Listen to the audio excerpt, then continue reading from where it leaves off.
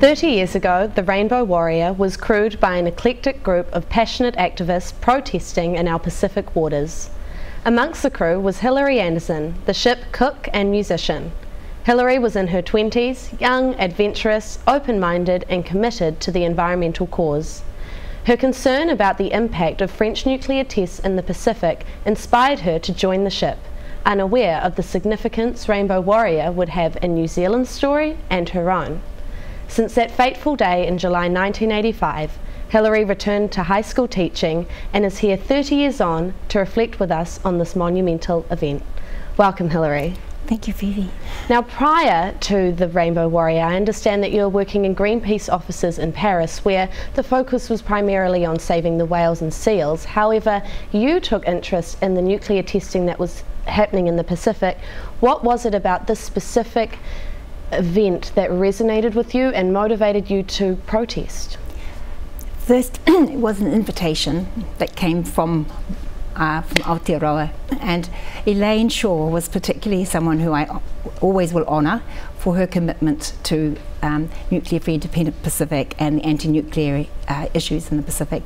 And she sent me a lot of information and I found out a lot and I realised it wasn't easy in, uh, in the Paris office to to work on that issue. But I was asked after I was working in a night shelter for the homeless back in London, I received this like commission to please find um, specific things for a campaign, and one of them was a big uh, um, a big cart. In other words, a, a, a for Mururoa Atoll. In other words, it was to do with the oceanographic map. And the, then I was asked to find a particular thesis that was um, in the Sorbonne, um, number four, in a basement, quite very specific title, and I knew that that wasn't going to be easy to find. And then I was also asked to find out what the impact was in French hospitals of those who were coming from Tahiti. Um, with radiation sicknesses and illnesses. And uh, this, once again, was very uh, cloaked in terms of bureaucracy. And I found, um, even when I went to the library, the university library at the Sorbonne, I asked for particular titles linked to Mururoa, and the librarian ripped the cards up in front of my eyes and said, "Ça n'existe plus." In other words, this doesn't exist anymore. And I realized then that there was a lot of uh, bureaucracy that was holding information mm about um, nuclear testing in the Pacific. And the, uh, at that stage, I hadn't been so aware of the obstacles that I would, I would receive. I was lucky in getting hold of the thesis, and a particular student and I went in together on a public holiday, and he knew the woman, and we had this negotiation happening, which worked for getting the thesis. I went across the road to photocopy it. This was, you know, photocopying days.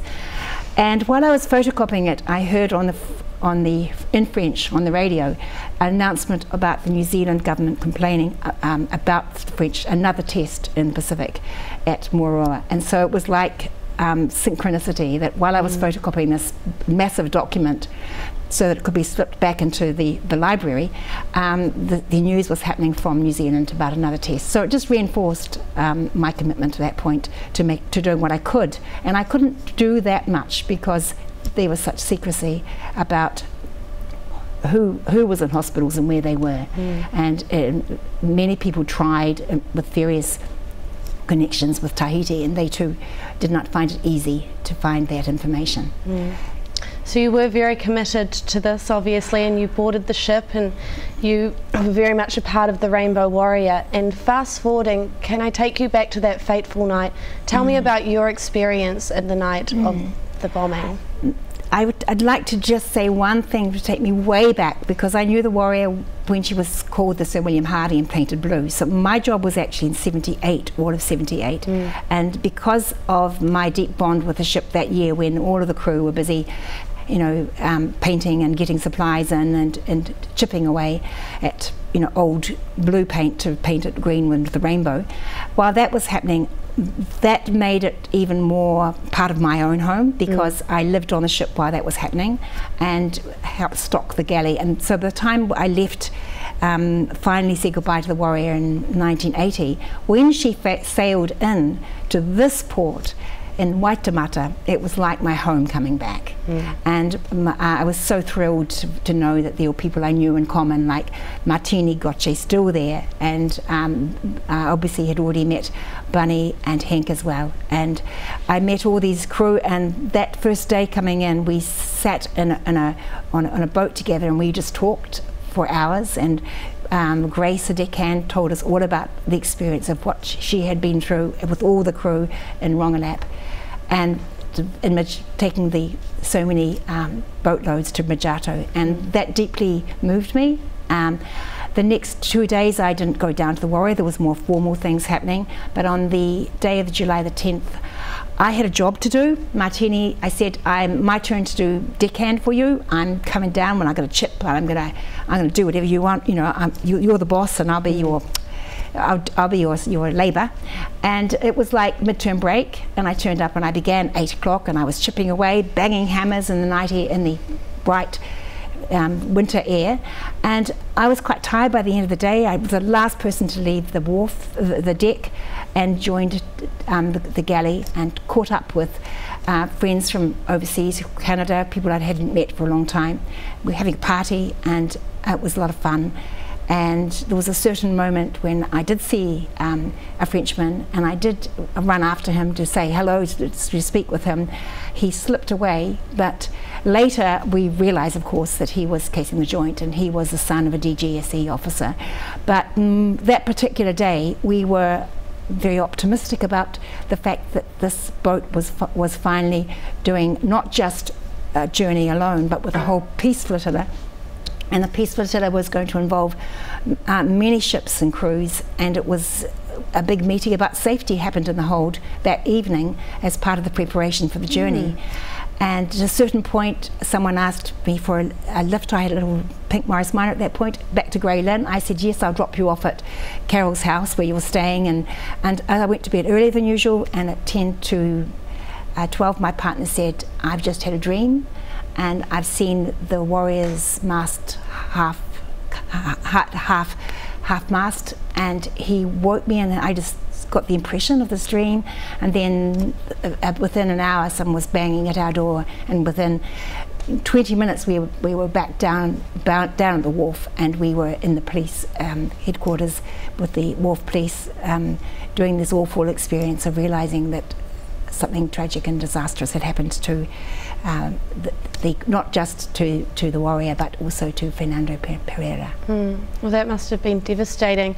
So, what are some of the most valuable and memorable moments that you hold on to dearly in regards to the Rainbow Warrior? Uh, the sense of working together. We, especially in those early years, we were all made decisions on board because the Greenpeace officers didn't weren't necessarily um, they weren't separate. They tended to have the, the, the, the, directors on board. And so we made a lot of decisions on board and a lot of the information or the learning we did about the, about the issues happened while we were also campaigning. Uh, and um, I also took pride in my work as a cook. I'd been working, I, I could V23 like that. And I also was glad that I didn't just bind myself to the galley and then I got a midshipman steering certificate as part of the crew that I did a watch every 24 mm. hours um, steering into Reykjavik, etc.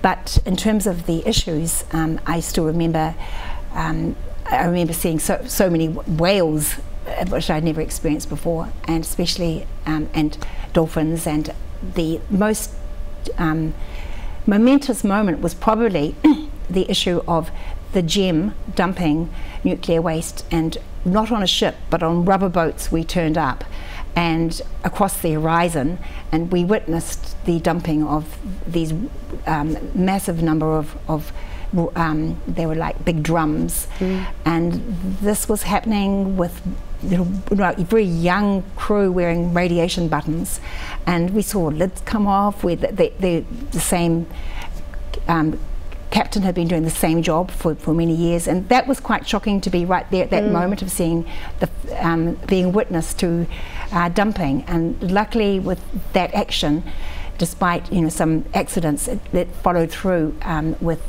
that uh, anti um, dumping in, in that part of the world, hopefully. And it's, I haven't followed through on all the information since then, but um, I'm just aware that that was a change that happened from an action in 1978. Mm. So, in immediate years following the uh, this devastating event, how did this personally affect your life? Um, it made me part of the extended Greenpeace family, and like we met up last night again for the world premiere of Fallout. Like mm. to honour Bronwyn Elsmore's work on that.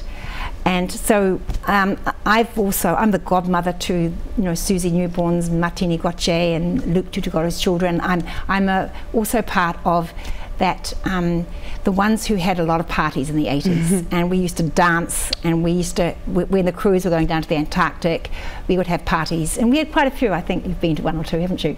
So that was one of our um, pleasures was hosting sometimes. And when the crews would come into town we would often in the 1980s have a party at our house.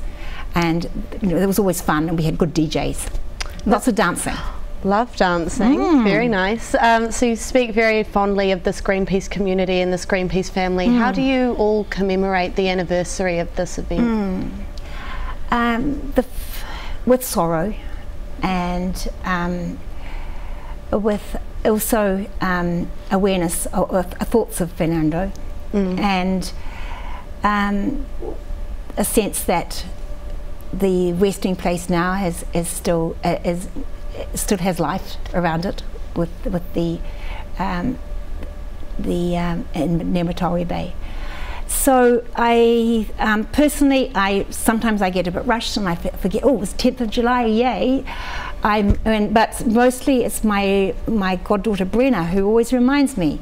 She's working for Greenpeace now, and she's one of the ones who just reminds all of us, "Hey, it's the anniversary today," and we, we always remember because, and sometimes in the first years we used to meet together. Um, the first anniversary, we all went down to the Warrior and we walked over her and we sat in a circle and we were quite, we were very, um, still very moved by the fact that she was still there and we weren't sure what was going to happen. There was lots of discussion about what should be the eventual resting place of the warrior, and it wasn't certain at that time. Mm. But most of all, it's that sense of um, community and a remembrance of an act that violated, um, um, you know, the basically violated as an act of terrorism and with murder intended. The new Rainbow Warrior and other Greenpeace uh, ships are still out there fighting for what's mm. right and fighting for these environmental causes. But mm. how do you think activism has changed from back then to now? I think that um, I probably wouldn't get a job if I was to apply now. I would not have the um, right skills into my cooking, yes, mm -hmm. but um, I wouldn't. Uh, I think there's much more specialist training for those who are doing the really big actions, and that they are very brave, and they often often have got these aerial skills to hang off banners and to, and it takes a lot of phys physical bravery to do those that kind of work. Um, I know that we, we were um, we were to some extent more naive. We were, we had deep faith in what we were doing, but we didn't always know where it was going. Mm. And I had no idea that what we were doing would have would become an international organisation of such an, an immense um, influence. And I honour the fact that I, we began with such in such a small way, mm. and yet there was immense. Um, dedication to the job. It took, uh, we were all volunteers and we were deeply committed to the work and it's something I'll never forget or, and I knew, knew it was um, perhaps you know, one of the most important jobs I've done. Mm, absolutely. Mm. How important do you think it is for today's generation to fight for environmental and human welfare issues? It's crucial and that's why 30 years later, the message of the warrior can get passed on to next generations. I'm totally for that. Um, I'd like to honour Claudia Pond Eyley's film. She also has made, has made some good work to pass on to to, um, to students who are doing Rainbow Warrior as in their history assignments. Mm -hmm. um, at the same time, um, this is even more, the, the, times are even more um, challenging. I try, I'm trying to do it today, period five, and through drama, and that um, in my classes today, um, one group of students are, are, looking at the ancient, the, the, the Maori gods, and, and bringing in, uh, lamenting the problems of, of the earth, and with Papatūānuku calling on the ancient ones, and who should turn up but some kick-ass 20th century mm -hmm. goddesses from, from the Greek mythology. So we're trying to sort of find some solutions in a feminist kind of a way. Um, but it's, it's literally also looking at what the real issue is, is what is happening with global warming, what is happening mm. with climate change, and the impact of that on nature and on human humans, populations. Yeah, and on that note, what do you hope to see in the uh, next decade in terms of activism for a better world for our uh, society? Well, I came on the bus today. So, for starters, I would like to say get rid of the car. Uh, it's obviously is, is causing immense destruction in terms of eating up road space and cities and polluting and air. So I'm, I'm definitely uh, on, on that one, and I literally haven't driven a car since the 1980s. Um, the other issues are that they're very, very broad, but um, it's the impact as well of seas rising mm. and you know, the islands that, that are under threat, losing their, their food supplies through salinisation. There are, it's the, the, the enormous implications of, of global change, of climate change are, are scary to even consider. Mm. So I would like drastic action on that and if there's any, if you've got any solutions for, for all of us out there, we want them now because it's, it has to start with um, awareness of not consuming so much. And I think, uh, Phoebe, you remember that work we did in, in uh, Stage Challenge and the, the message of um, anti, anti-pollution, anti-materialism.